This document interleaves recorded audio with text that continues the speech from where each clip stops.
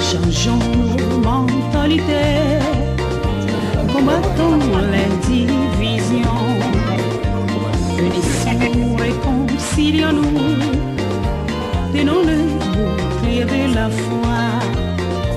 Les divisions, les diffamations, les querelles et la haine ne font que freiner le développement. Divisions, les diffamations.